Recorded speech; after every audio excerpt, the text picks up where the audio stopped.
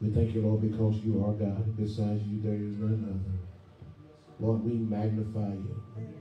We edify you. We give you all honor, praise, and glory for thus this day that you have allowed us to be in, oh God. We thank you, God, for our goings and our coming. We thank you, Lord, that you can have your way in us, God. We even thank you, God, that you can trust us, God, to be a living testimony, a living sacrifice. God, to be an example of the things that you've already brought us from, through, and over and under.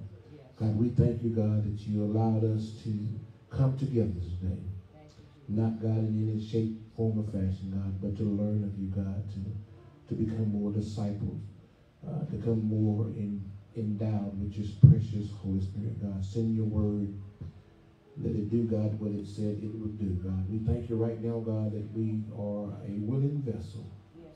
We thank you right now, God, that we are surrendering our all to you, God. Have your way in us today, God.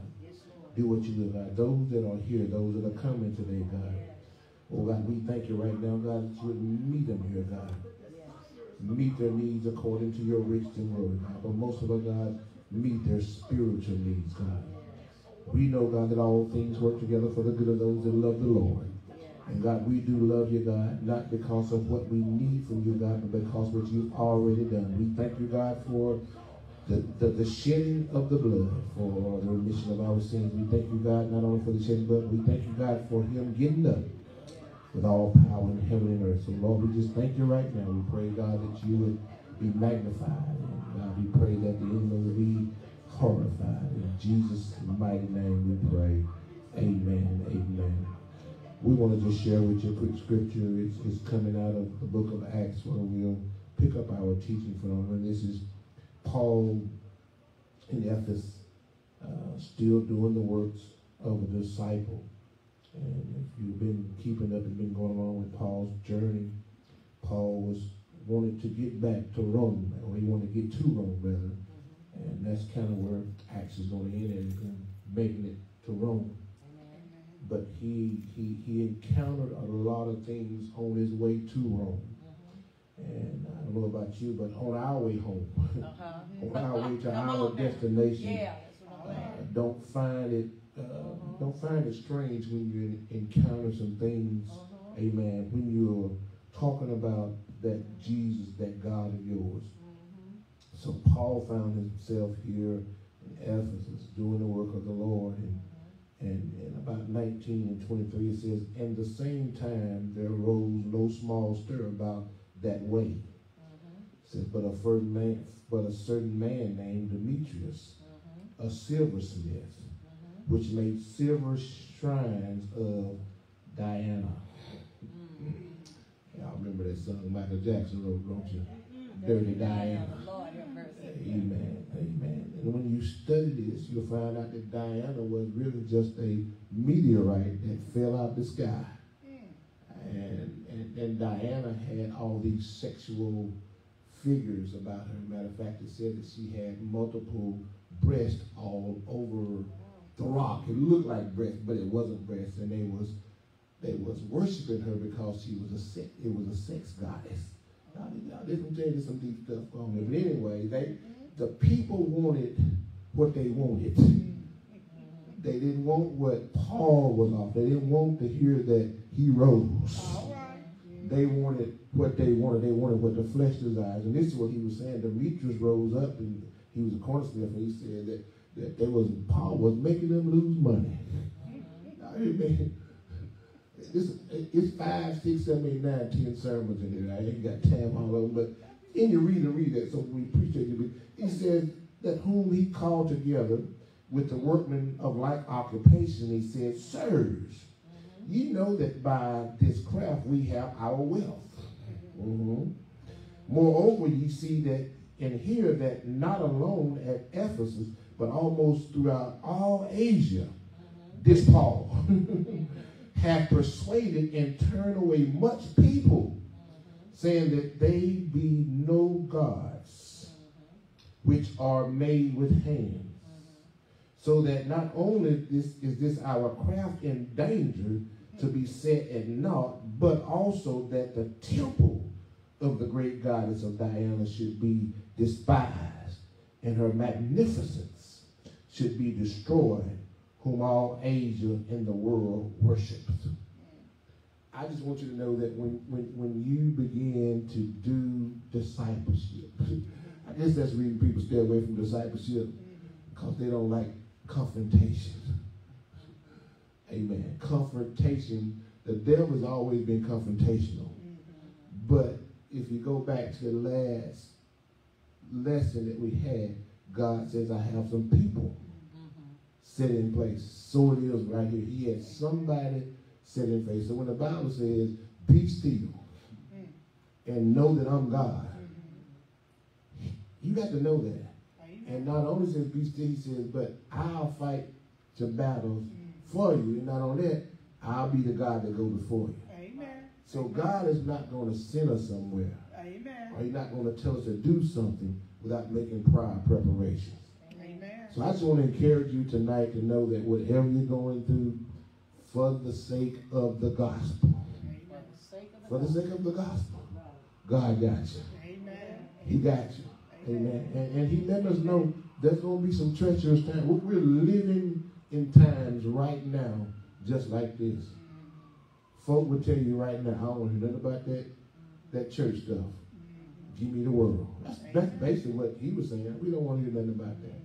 We're having too good of a time. Amen. So I thank God for this lesson and for this, this time of study that's, that's, that's really been encouraging to me. I believe that every leader, every disciple, every church worker, if you'll walk through this, you'll see that there's much work to do, but the mission is possible.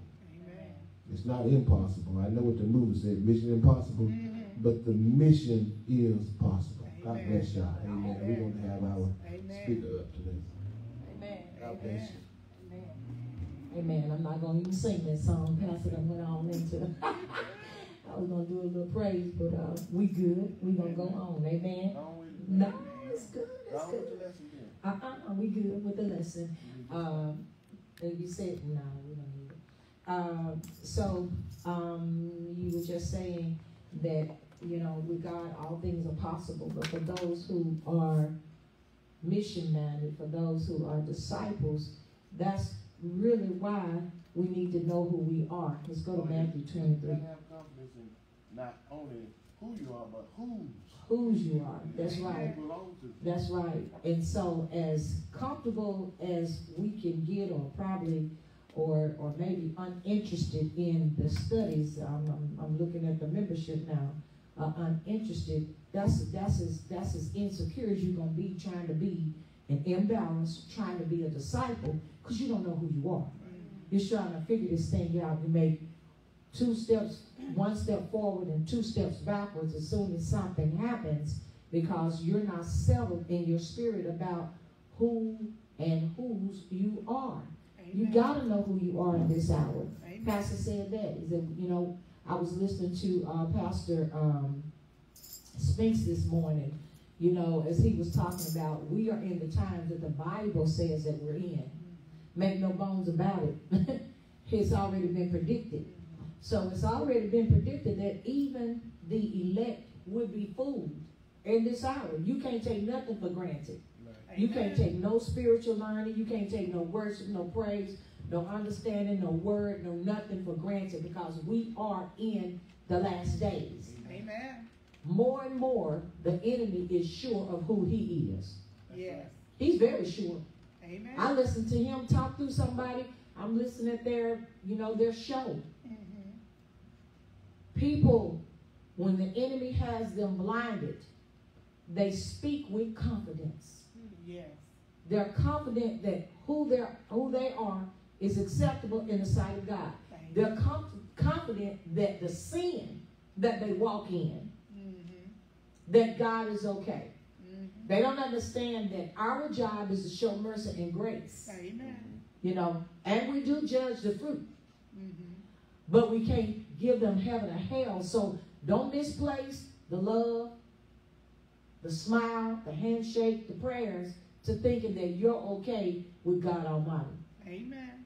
Oh my goodness, it's a bad thing to be fooled in the last and evil days. Amen. Cause he just keep pouring out stuff and pouring out stuff to make it look like you right. Amen. Yeah, that's what he does.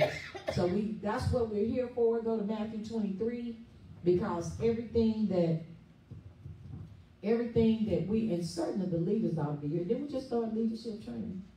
All right, this is part of the expectation.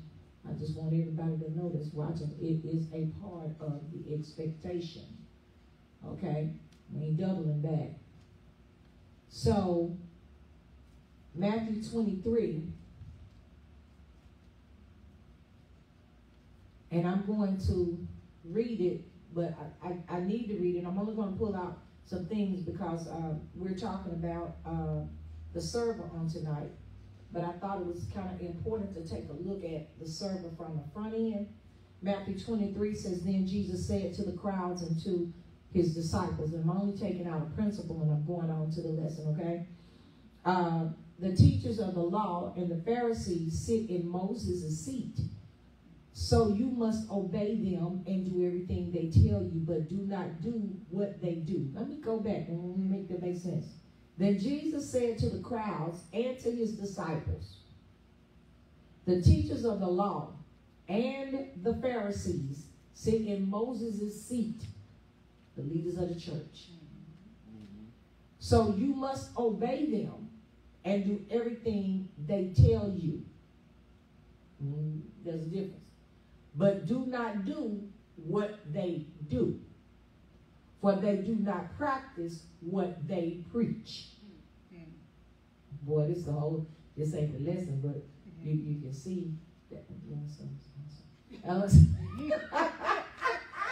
you can see it's, it's real good for you know sometimes you will say people uh, people um, uh, show can't tell you what to do, but you don't see them doing it. Well, that's that. That yes, they can. Because here it is. Jesus saying they tell you right.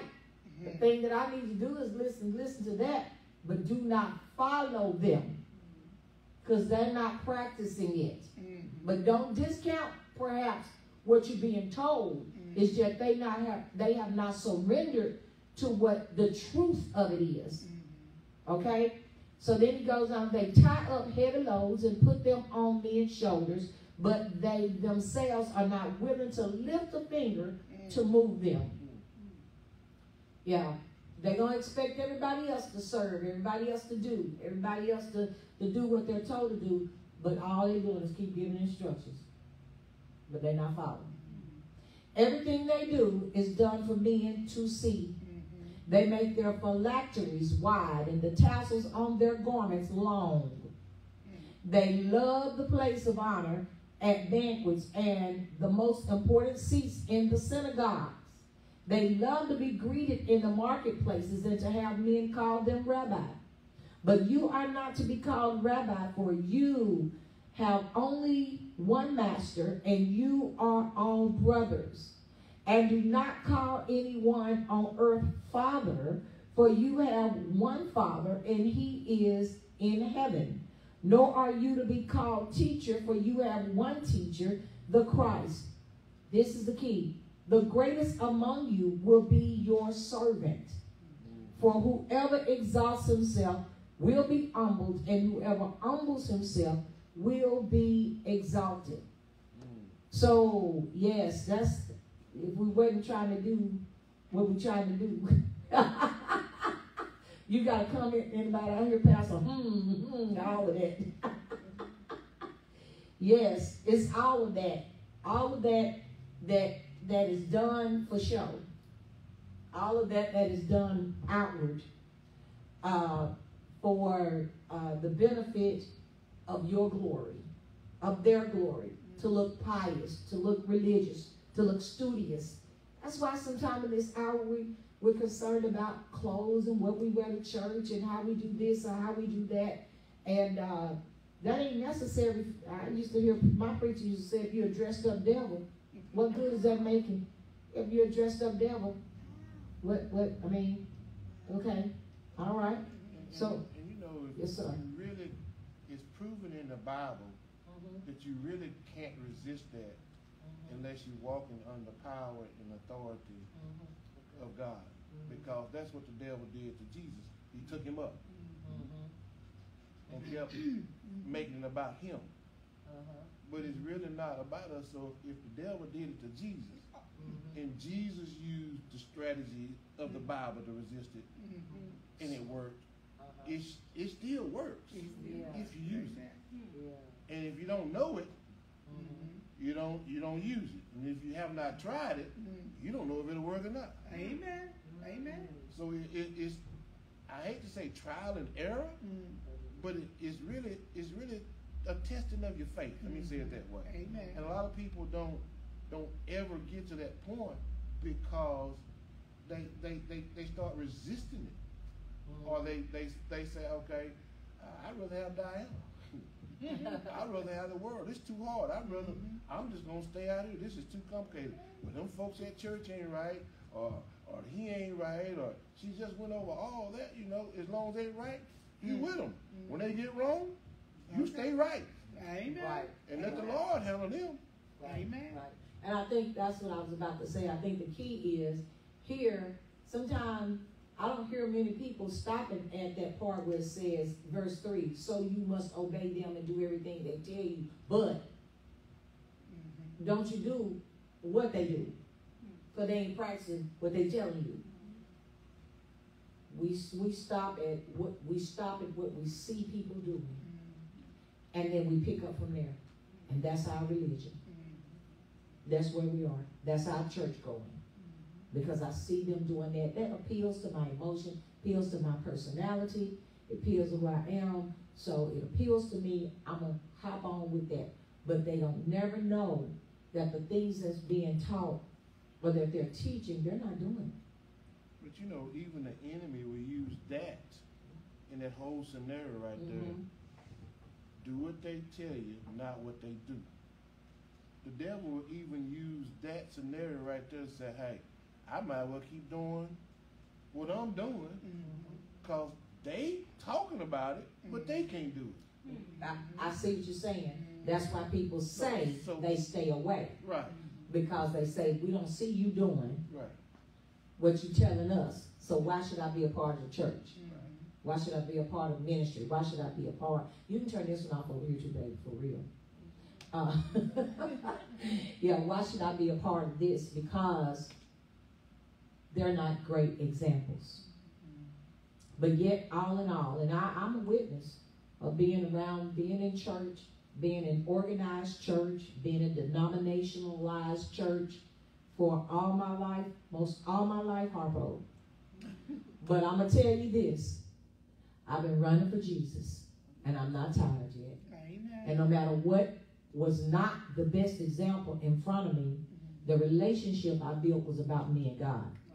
And he didn't have to tell me but one time. I was sitting under the hair dryer and uh, just studying the word and thinking over a situation uh, that was in a congregation. And the Lord said, and we was thinking, I think he had already declared I ain't going back to church. I'm sitting there going, oh no, I didn't get into this. I've been going to church all my life, oh boy, I gotta see what's going on. And I'm praying and I'm studying, and the Lord said to me, Remember this. I'm God. I ain't done nothing to you. Mm, right. He didn't have to tell me for one time. Mm. People didn't bother me, how they acted, how they treated me. From then on, I could place man where he needed to be mm-hmm. and put God where he was going to stay. Amen. And if it didn't seem like it was God, I'm sorry. I just didn't bring no respect to it. And I just couldn't connect with it. Not in rebellion, but in understanding. So I can let them be, and that, that air is going too. And now the fan is out, the air is on my left. Amen. So we got that out.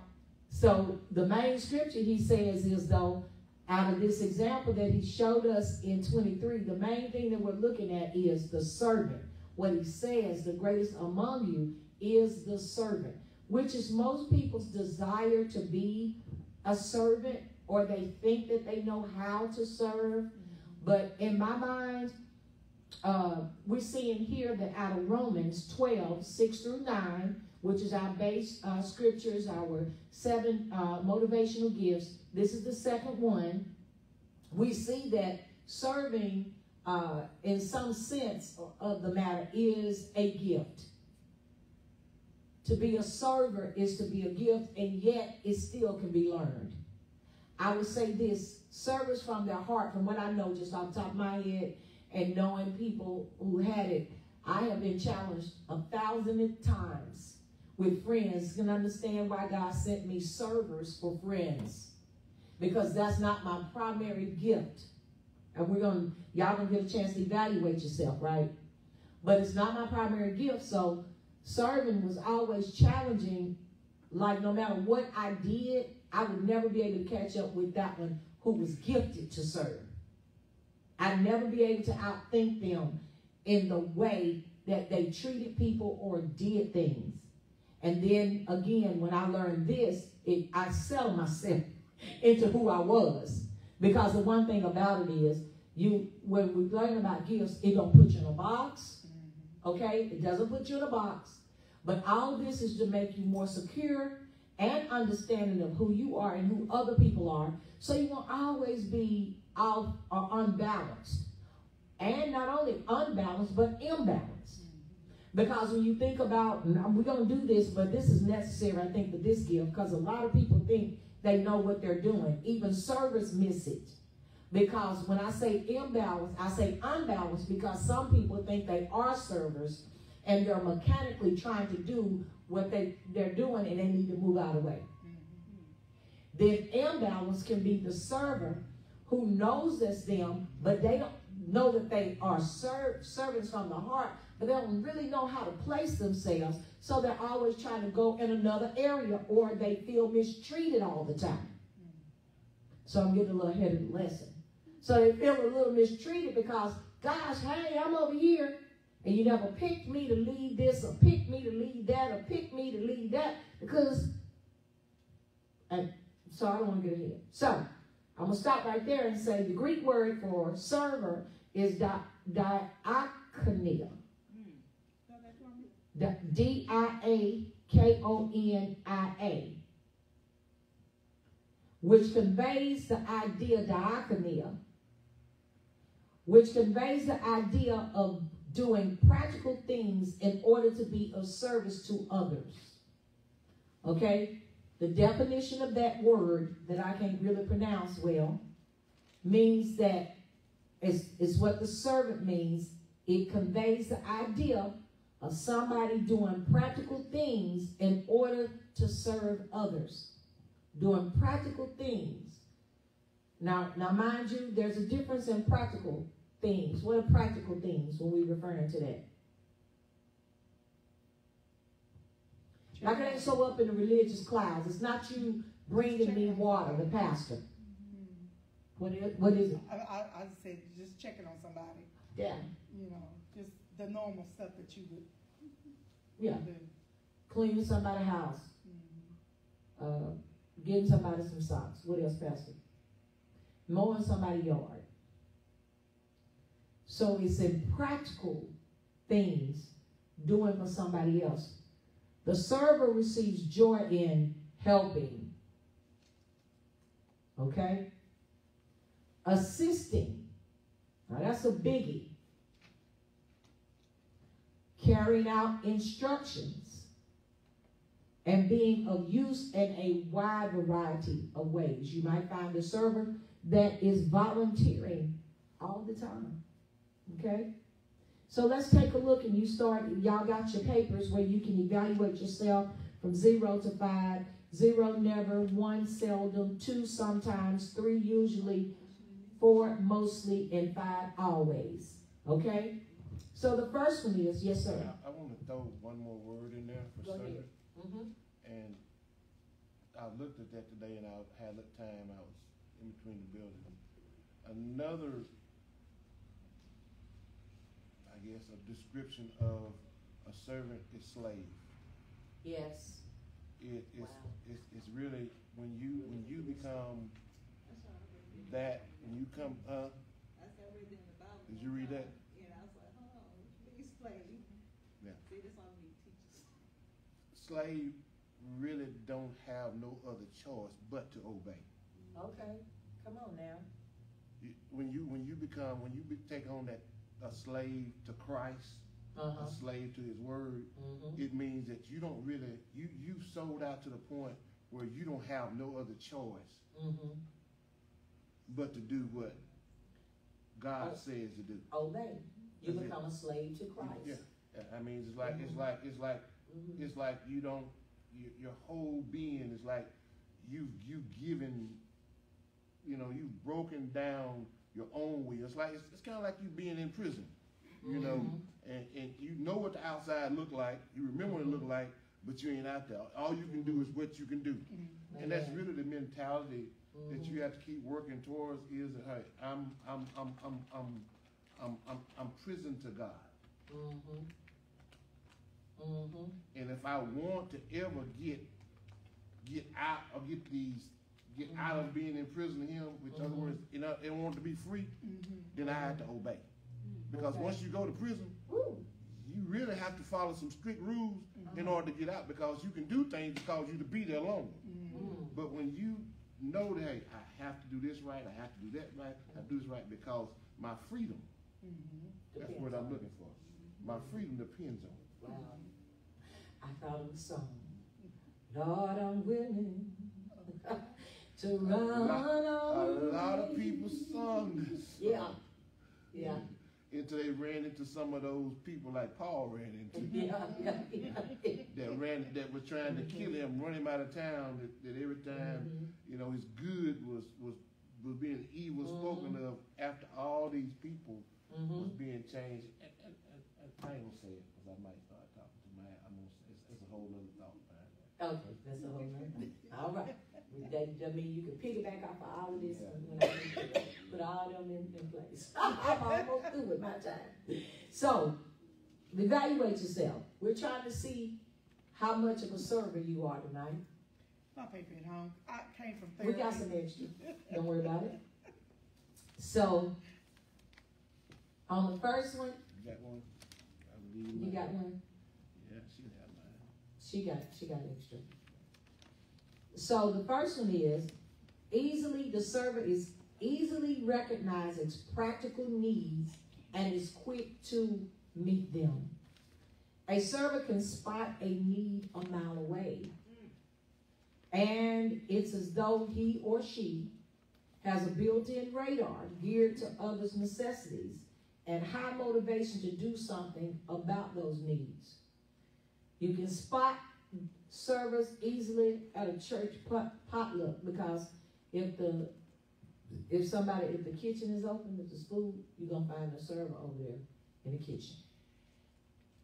If they ain't preparing the meal, they're trying to serve it, trying to put it out. Or setting up the table and chairs and doing the cleaning up afterwards. So evaluate yourself. The second one is a server enjoys manual projects, jobs, and functions. Of all the motivational gifts, it is the servants who have the greatest dexterity. Look at this the ability to work well with their hands.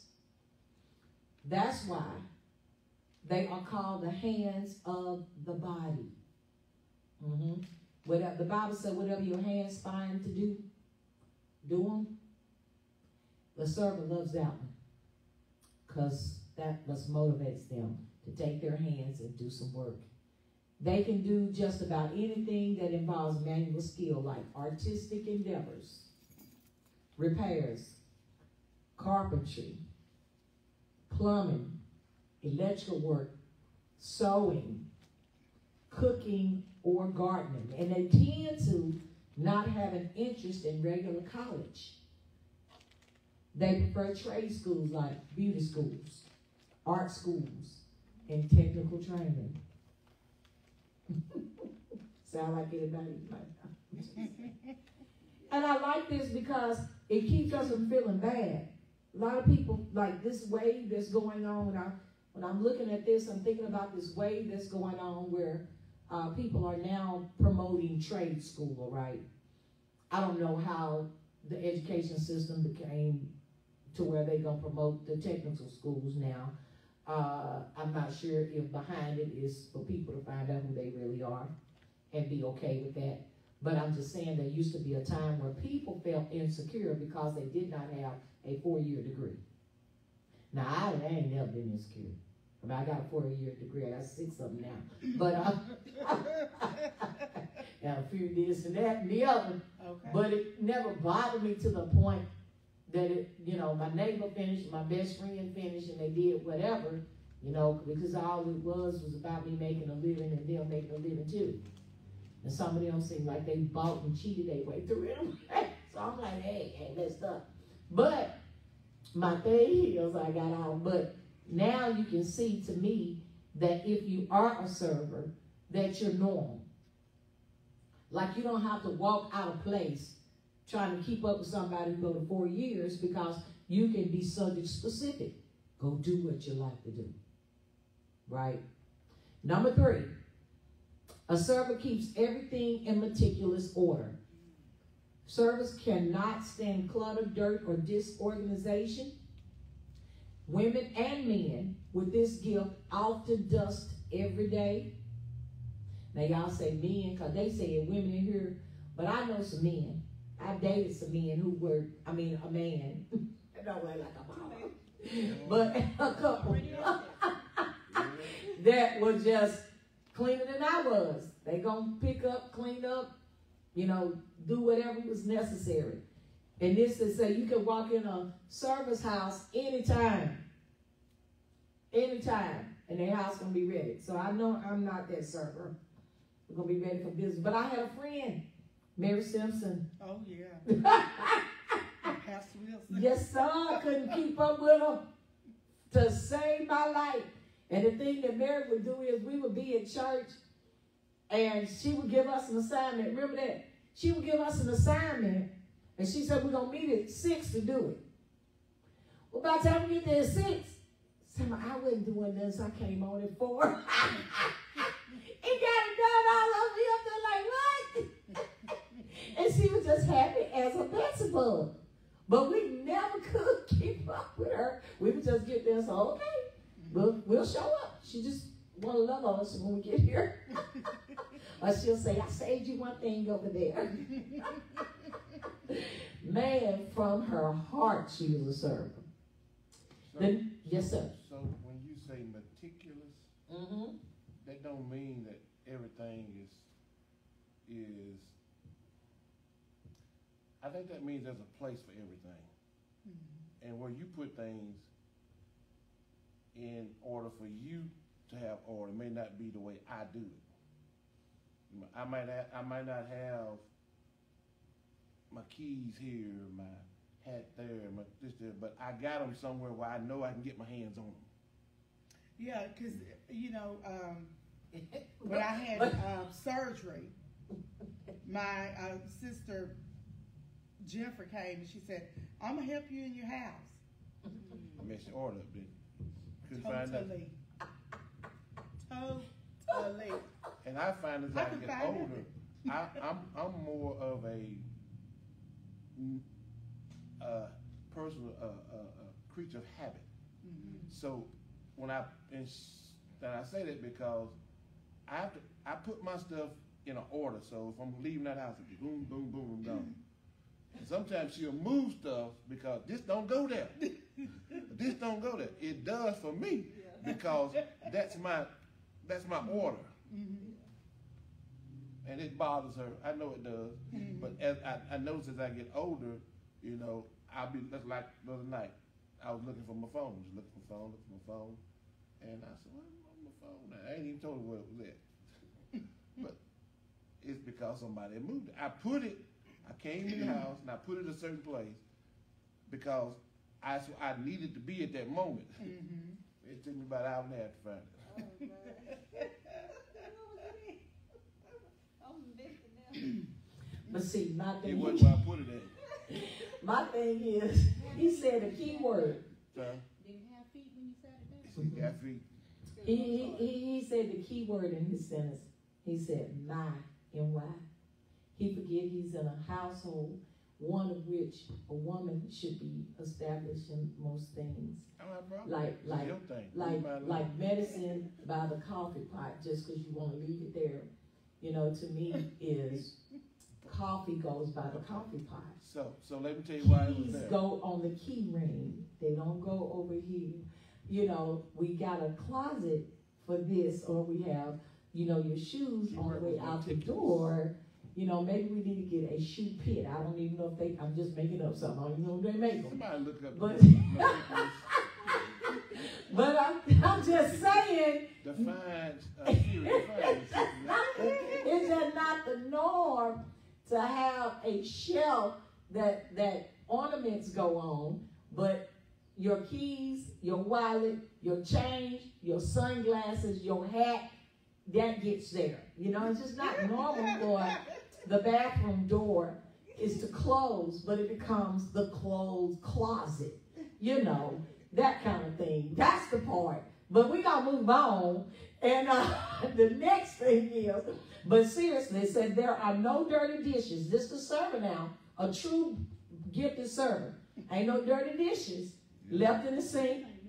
The laundry is fo- is folded. Now I'm talking about a born bona fide server. We ain't talking about those that okay. Can I ask a question? Uh-uh. Does everyone, does every server operate like that? Does that, if you don't have all to- that in place, does that mean you're not a server? No, because these these you you're you're the you're the you're the circle. Never, seldom, sometimes, usually, mostly, always. You're gonna figure that out about yourself. Oh, I know one. So you got some maybe seldom servers, but the whole point when you get through, you're gonna have three top gifts that may be like this, and you'll know which one operates the most or operate you operate in the best. So of course, again, it's not to put you in a box. Now, you know that would match me, of course, but yes, go ahead. I, I was, I was, I had a question. Question. What if you were all of these things at one point in your life Okay. and circumstances changed it? Y'all ain't trying. Well, I'm gonna just tell you, I'm just saying. trying not to go there. Right. Yeah, there are some things we have been, but I'm, I'm, okay, I might get in trouble. I might get in trouble, but my circumstance to get in trouble is that I have more than me to be concerned about. When I live by myself, meticulous was there. Things were in place. House would be clean. My bed would be made up. Uh, dishes would not be in the sink. Things that I felt that a house should have, breeze, uh, this and that. But when you have combat with your family, you know, those are things that can upset who you are, uh, who you were born to be, because not only that, probably body aches too. Yeah. But yes, All a lot of things- For in the last four years, all of that has changed for me. Yeah, yeah. It's okay. Don't feel bad. If you know that's really who you are, then judge yourself that that's who you are. Here's the kicker. Because people don't learn. Remember I told y'all this would work in a marriage if both male and female would understand this and begin to work off of this. Friends could have better relationships if they understood who they were. If you understood, you would begin to respect that. And then you would work with that because you can work, that would bring balance to who you are together. That's just my revelation when I got through with the entire study and began to look personally at myself and my household. But my whole household don't go after this. So you just give. After a while, you just give. You're like, y'all do what you want to do. I'm gonna do what I want to do. Can't beat them, you join. You know, because I know who I really am. You know who I'd really rather be. Because I'd rather not be stepping over this. I'd rather not. But I ain't doing it because you ain't had no appreciation when I was ironing the clothes. You know, doing this. You know, when you go to a refrigerator, you go to a stove, you know, you know, cleaned up, and then you be like, didn't you not see I cleaned it up? Why you leave that glass sitting on the counter? Mm, right. You know, you could at least respect me enough to know that the kitchen is clean. You got sugar on the bottom. You know, I, don't you see the whole thing was clean? So in order to keep your blood pressure so you won't have too much of a level of uh, milligrams of blood pressure pills. You just kind of let that kind of thing go. I understand it. Sister, uh, Pastor Wood, I just want to throw this out there. See, Being see, meticulous does not mean you are a perfectionist. Oh, well, let's keep talking. Okay, so let's go. That's, that's. Because it's going to talk about the real servant. Number four, the servant is a detailed person with a good memory. Servants have a computer type memory for details. They can remember where they filed away an article they clipped out of the newspaper Pastor three years ago. They remember that you like cream in your coffee, but not sugar. My husband's a, a It servant. used to be like that. Yeah, I do too. Yes. was I used to. Yeah. And uh, this, when he says uh, cream in your coffee, you know, like we never discussed some things that, that Jerome will bring to me. I know he's a bona fide servant. When I studied this, I'm like, this is why he does what he does. But he could find, he could buy my clothes. Remember I told y'all before, he would come, used to come pick out my clothes and lay them on the bed. He bought them, I'm saying, not pick them up. He would lay them down Somebody say circumstances. match them, shoes down to stockings, earrings, the whole nine, that kind of stuff. Know exactly what I like. And then right now he'll walk in the house and say, I know you like this. Okay? Details. They remember all the birthdays on both sides of the family. Oh. Send cards. They can relate an episode from the 13th chapter of the book they read last week Okay. with accuracy. that ain't me. the next one is they enjoy showing hospitality. They look for opportunities to invite others over for dinner or dessert, and they do a terrific job of making their guests feel welcome. See, I'm thinking Pastor need to go down to number one on this one. Since he want to know this. Six, they will stay with something until it is complete. Service finish what they start. They have wonderful stick to it in stick stick to itness. When they say they will do something, they will do it. The only thing that produces frustration, uh, frustration is when you give them something to do in too short of a time. You see, they not only want to finish a task, they want to do it well. Okay? Number seven, you're supposed to be grading yourself, Pastor. Has a hard time saying no to requests for help. Get this. Because servers are naturally geared to be helpful, and because they know that they are good at it, it is difficult for them to turn down a request for help. As a result, they tend to get over involved. Even a simple question like, Do you know what to use for a clogged drain? will, will elicit a response like, Let me come over and look at it.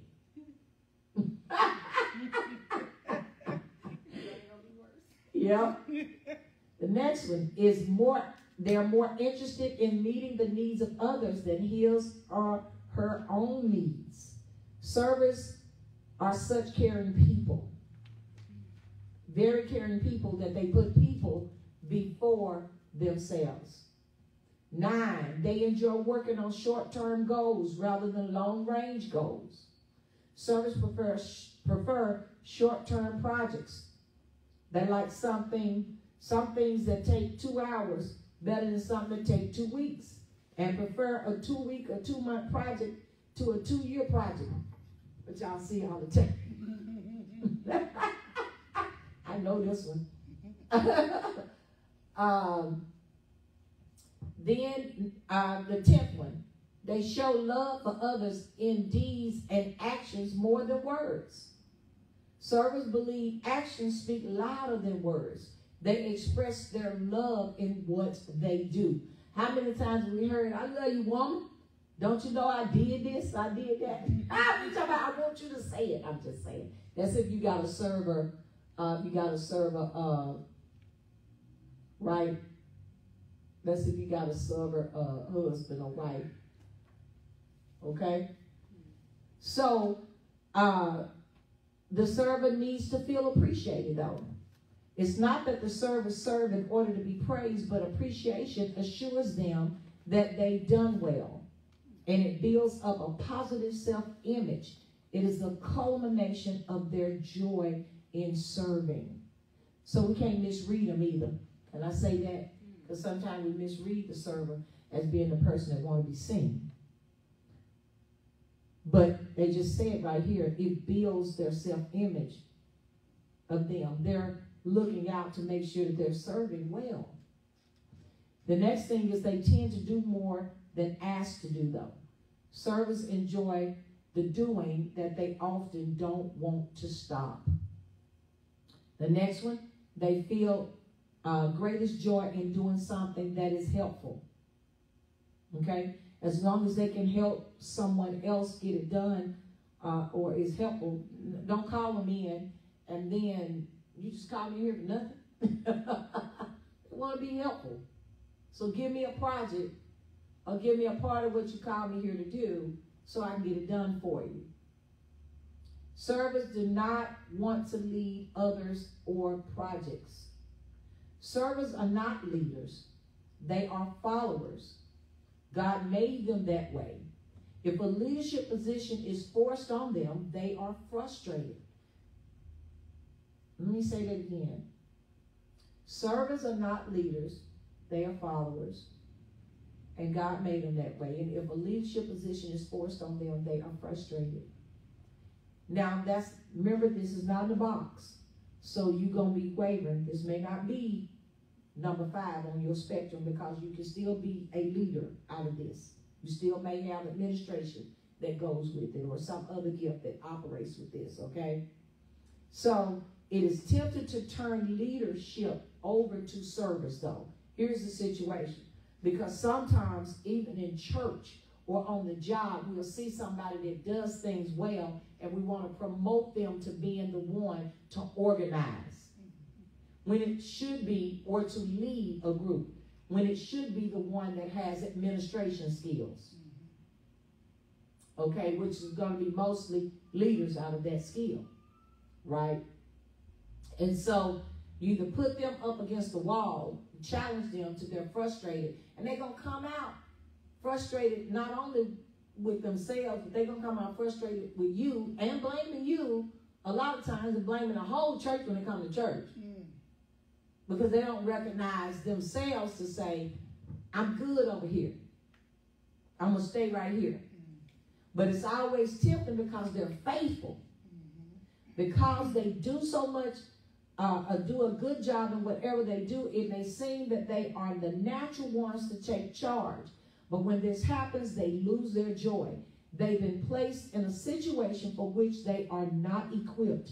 The result is frustration for them and probably eventually frustration for those they try to lead. Right. This is this was interesting to me because I believe I have seen servers who don't understand this about themselves and they oftentimes feel mistreated in that position. But it's all right. Be who you are. I mean, understand who you are and you'll be satisfied. The next one is they have high energy level. Servers have one speed, that's fast forward. Let's get it done. They seem to have boundless energy.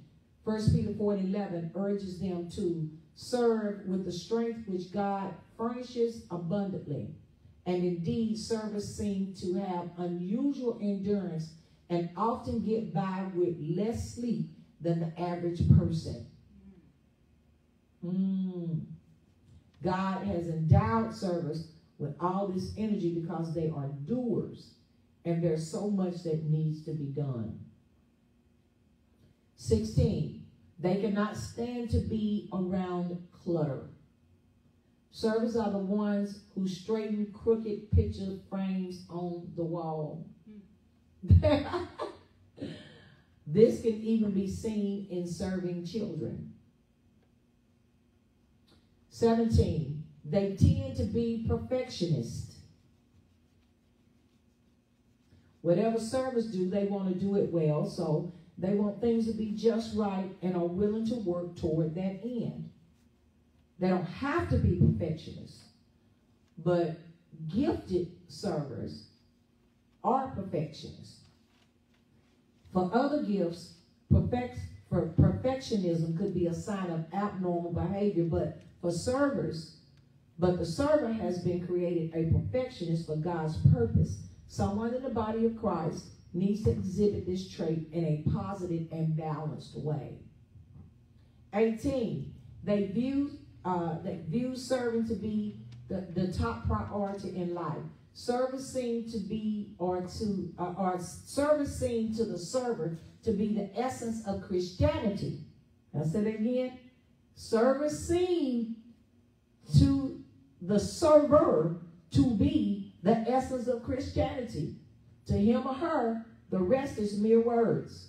Certainly, Jesus' example in teaching on the importance of having a servant's heart reinforces his or her conviction that serving is the greatest activity of all. But servants need to be careful not to insist that others feel the same way.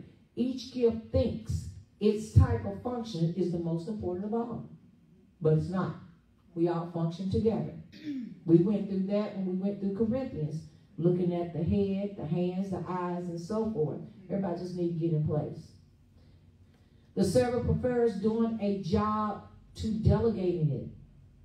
Not only do servers prefer to do the job themselves, they also have a sense of guilt when they don't. Mm-hmm.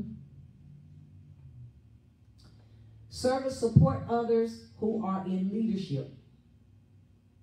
Servers make wonderful secretaries, vice presidents, or committee members. They have incredible loyalty to those who, serve, who they serve under, and it is not unusual for a servant to burn the midnight oil to bring a project to culmination. Servants want to see those they support succeed. Now, right before we go to the problem of the servers, uh, the author has shared what they call the exception to the rule that servants need to know. So this is a good place to point out an important exception to the rule that people will function best in the motivational gifts that God has given them. Here it is. When God calls you to do a job outside the sphere of your motivational gift, he will also give you an anointing that will enable you to do the job. The anointing supersedes the giftedness.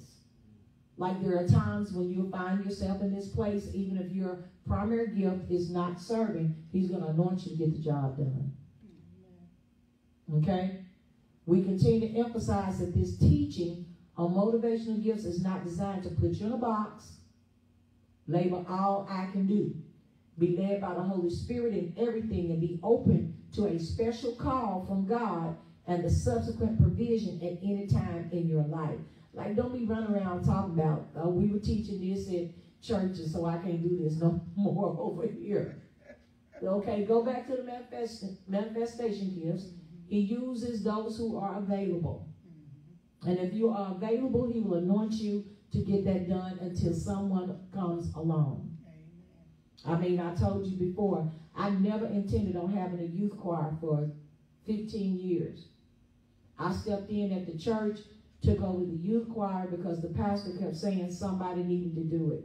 And I was sitting in the audience and I'm like, oh Lord, have mercy, what did he keep saying? Somebody need to get the kids up. Somebody need to do a song with the gym. Yeah, I sing, but I didn't want to direct none. And then I became the director and the leader, you know, because I was willing. And God anointed me to bring the choir together. You know, the kids. People wanted to come on the Sundays that the youth was singing. now, you know, I obey God. Although, you know, I obey God. and that's that. so evaluate yourself and look at have you added up your points yet? Your score low? See there? nah, it may not be primary. I don't think it is either. So let's look at the problem of the server. All right? The server is critical of others who don't help out with obvious practical needs. Y'all done that or know somebody?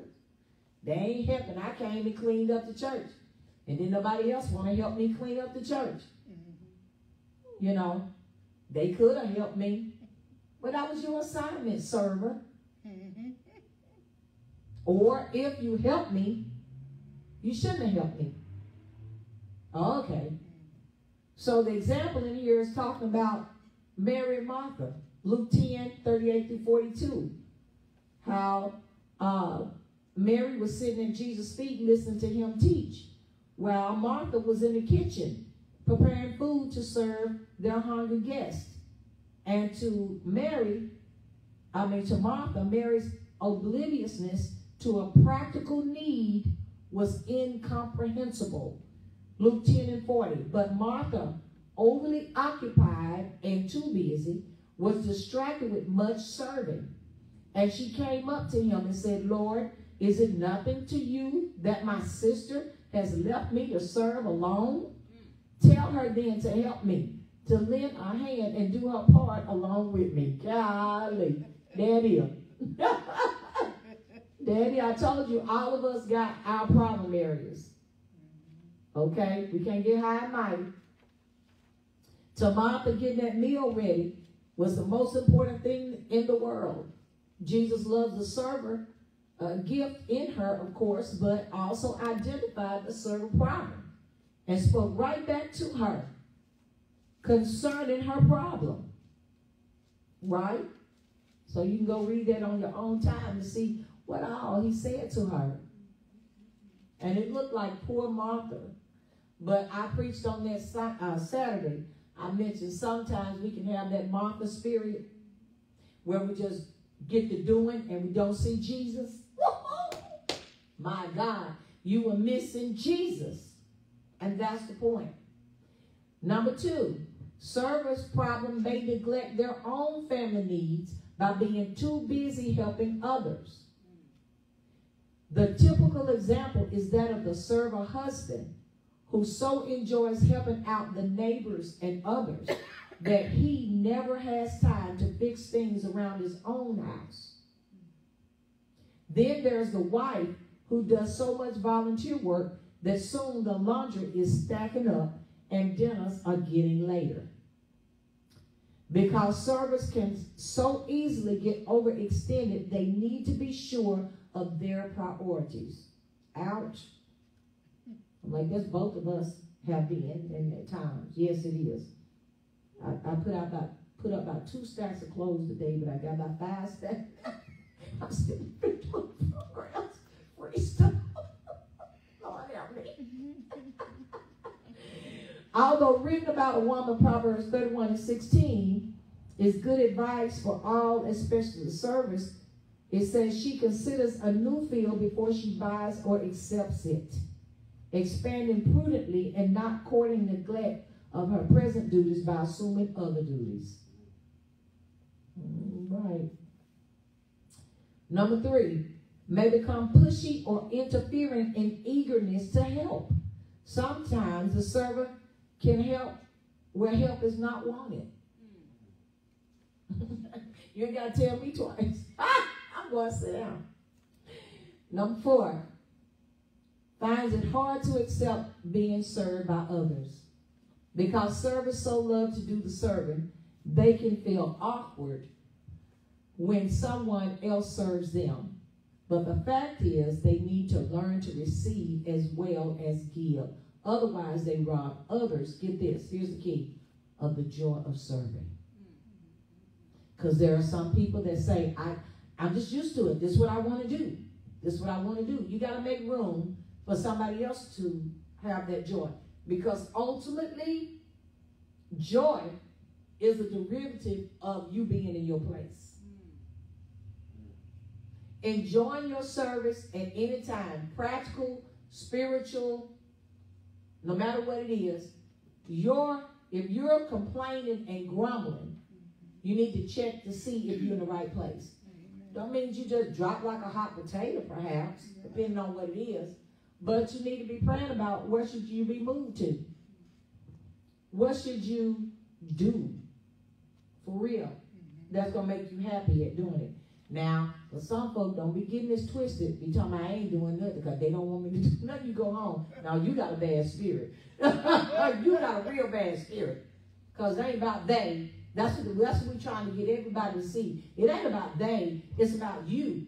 You can ask us, what do we want you to do in the church? But you need to be talking to God about what should I do for you. Because you know, for a long time, you guys, I think I was talking to my son, uh, Daniel. We, we have to get a chance to have some little talks about at home. But I was talking to him and I was telling him about things that he have in his heart to do. He's, I mean, about young people and stuff he has. I said, son, I need you to tell us, lay it out, let's work it out. Because some people have mixed up that, let me just talk about the church. Some people have it mixed up that the pastor's supposed to bring out everything that happened in his ministry. We don't know everything that's going on with you and God. So, and then some people have it mixed up that they see a ministry that's got more than these one, two, three, four, five that's here tonight. And they think that it came like that. But it was it was because you were birthing things as God gave them to you. And those things were attractive to who they need to be attracted to, and you grew. So if you're not growing, it's not always the pastor's fault. Because sheep beget sheep. You got to know who you are and spit that stuff out so we can support it. And then, like I told him, there were times when some people didn't understand. When I learned who I was, there were times when I knew it was not the place. The church was not going to be the place.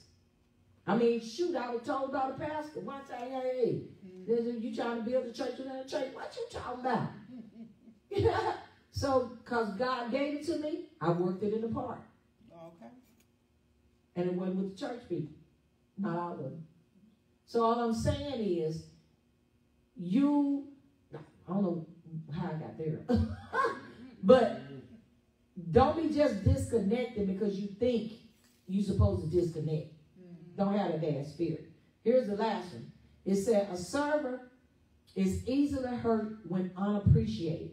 Now I got to read this to you.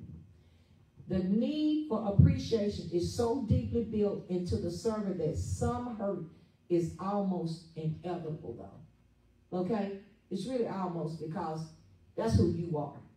That's who we are. I'm not, that's not my primary. Lot of serving, I learned it. And then I'm on go now, like I don't want to be. I'm trying, I was telling the other day to the other son. I like, I'm at the point where now I want to sit. I don't want to do anything but be at home and do church. That's really all I really want to do in my life right now. That's it. That's that's all. Period. Fold some clothes. Fix some dinner. I'm the stuff I said I didn't want to do before. I used to not even appreciate folk, you know, when they talk about for Christmas gift, get you a mixer. And I don't give me no mixer. That's my whole family. But now I'm that person. Okay. Give me a mixer. you, my life has changed for me so drastically, you know, mm-hmm. till it, the, the fall brings it out in me, y'all. Oh, that's what I was cooking. That's like, oh, you cook some chicken salad now? You cook sausage? right.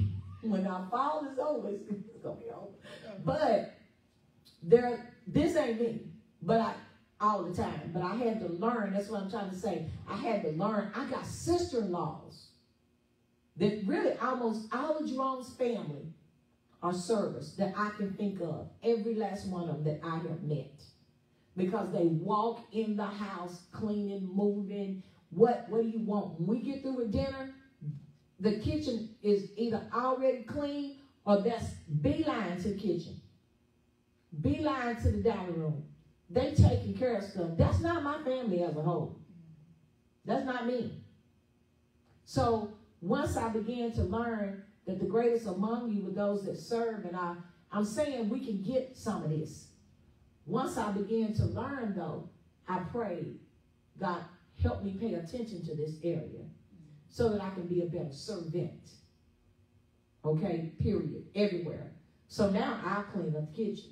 If I'm there, they know I'm gonna clean up, I'm gonna move stuff, I'm gonna help you, I'm trying to help you, that kind of thing. And it's kind of embedded from the Holy Ghost. Because my heart changed.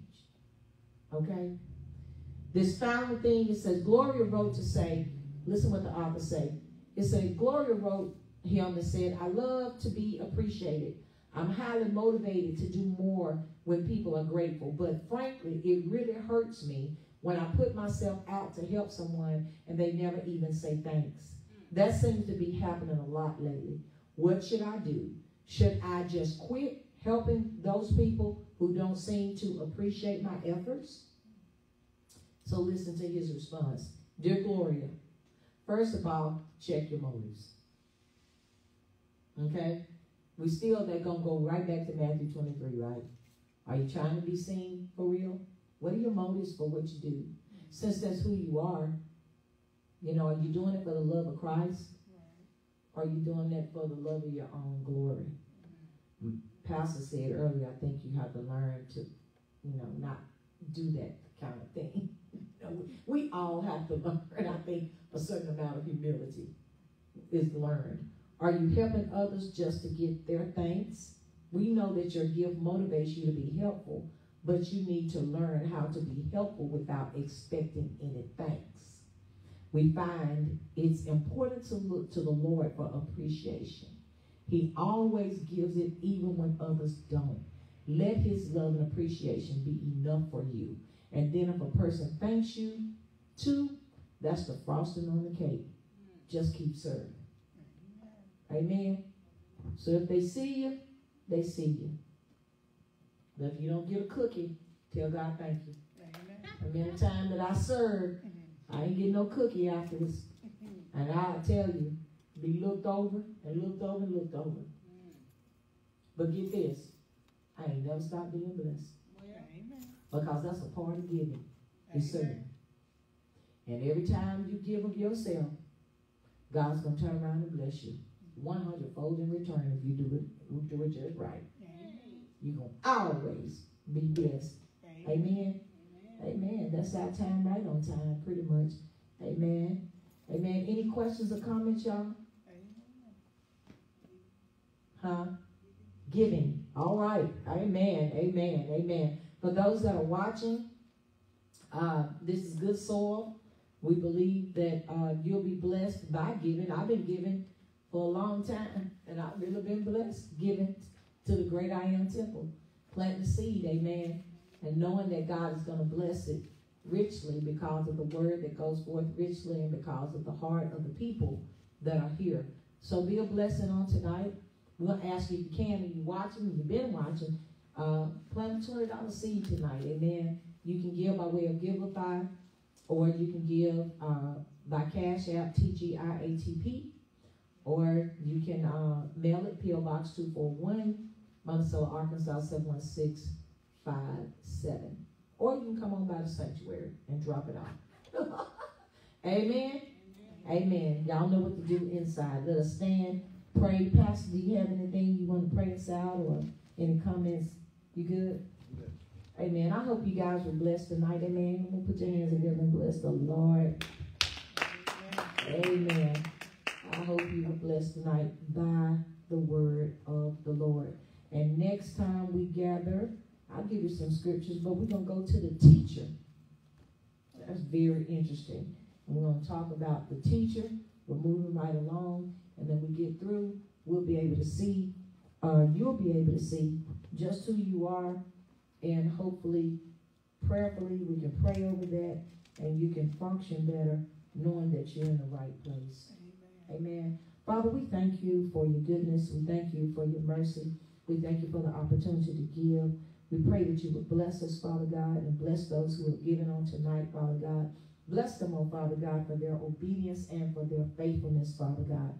We pray, Father God, that as we study this word, Father God, that it would truly resonate on our hearts when we lead a church that in practical things, Father God, in practical matters, oh Father God, we'll be rest assured, Father God, that we're doing your will in our life, Father God, according to how you have constructed us, how you have birthed us, and how you have said, Father God, that we are the apple of your eye. And Father God, that no good thing is withheld from us, Father God. We thank you for doing it tonight. And Father God, as we leave this place, oh God, let your presence be with us, oh Father God, until we meet again. In Jesus' name I pray.